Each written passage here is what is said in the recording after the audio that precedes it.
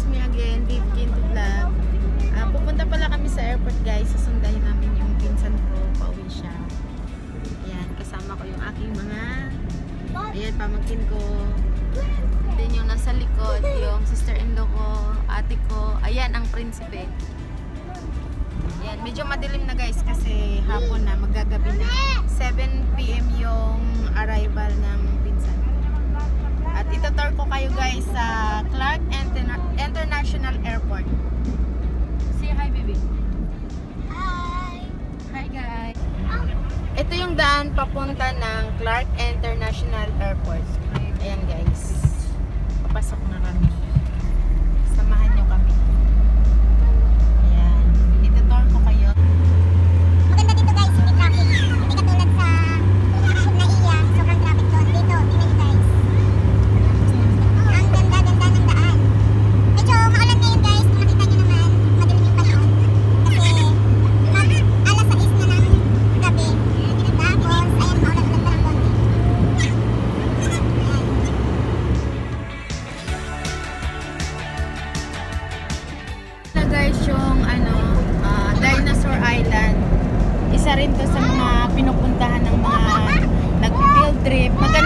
Shannon.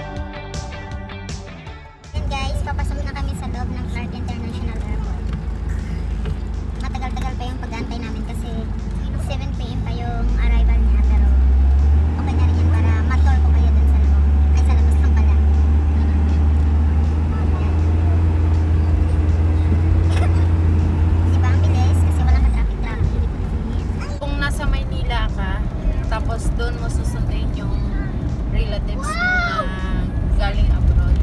Kung umalis ka ng alas 5, sigurado makarating ka. Alas 8 na. Pero dito sa Clark Airport, ang bilis. Napaka-smooth ng biyahe. Kaya sa mga gustong umuwi dyan, dito na lang kayo dumaan sa Clark International Airport.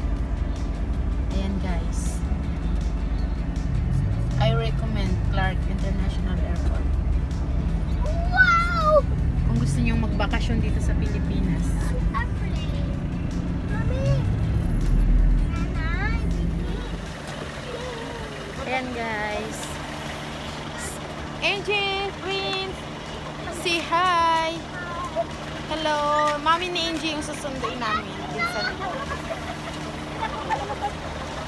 Ang mga kamag-anakan excited.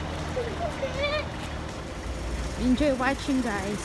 Mami, di ko nga tumamulin. Wala pa, hindi pa dumating yung airplane.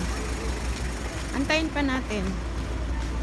Ayan. Kung sana guys, hindi umulan, masarap sana mag-picture-picture. Kaso lang, umuulan kaya yan ang basa. So, parang baka biglang bumuhos ng malakas. So, dito na lang kami maghanap ng, ng pwede namin tatambayan. Ha? Wala, antayin nga natin na may lilipad na airplane. May shopping area dito, may duty free din dito. Ano. Ayan. Ayaw namin pumasok. Ayaw namin pumasok kasi kami na wala sa oras. eh wala rin pala kami panggastos. Si sa loob ng eroplano Dito mula sa likod bahagi departure patungo sa area. harapan. Ang Yan, room number matatagpuan sa and then doon yung arrival, doon kami mag-aantay. Ayan, meron dito mga establishment. Ayan. Airplano tang ako eh. Airplano ako. Ayan ang prinsipe, excited siya. Gusto niya na naman sumakay ng airplane. Nakala niya magbabakasyon ka.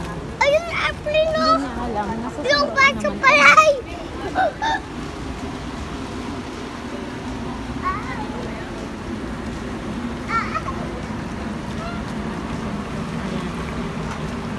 Kaligayahan ng mga sumusundo. Kaligayahan ng mga naiiwan ang sumusundo kapag may darating. Kaligayahan din ng mga dumating ang makita ang sinusundo. Ah, tama ba? Saan pwede? Ah, dito. Okay, dito daw po yung waiting area. So, papasok kami. Thank you. Ayan, marami-rami din yung mga nag-aantay. Matagal pa kami guys mag-aantay kasi 6 pa lang, 7 yung arrival. Ano kayong gagawin ko?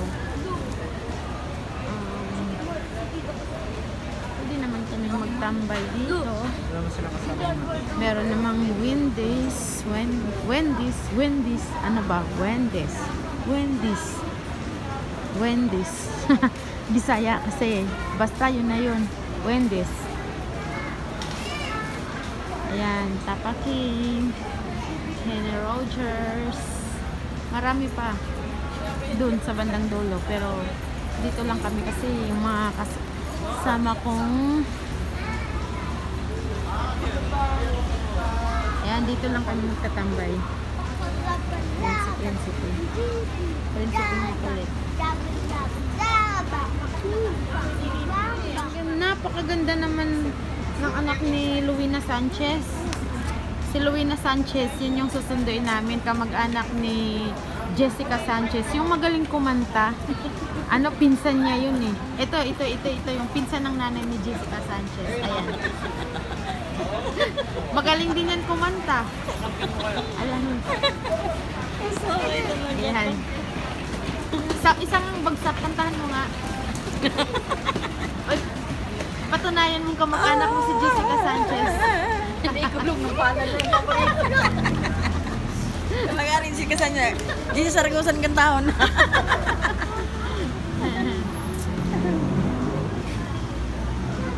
Ayan guys, tawa-tawa pa yan ngayon. Pero mamaya pag dumating yung pinakamamahal niyang anak, naku, grabe yan guys. Baka kita kayo ng matinding ano, drama. Matindi pa sa mga inaabangan yung teleserye.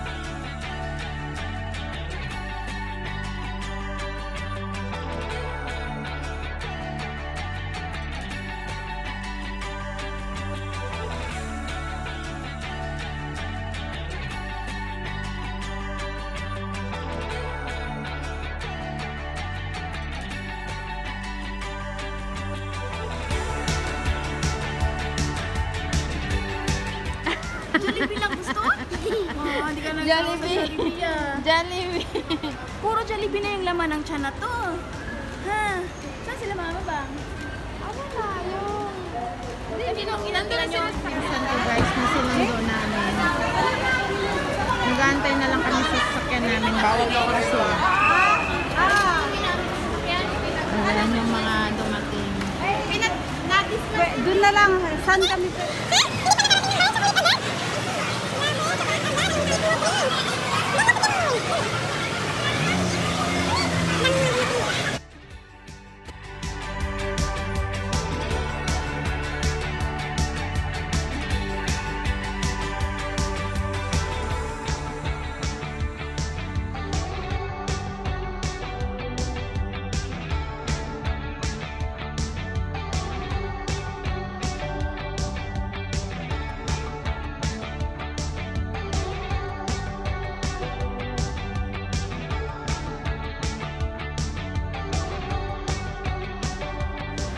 Ang magmami. Laki-laki mo. Ang laki-laki na ng anak niya. Iniwan niya maliit pa lang.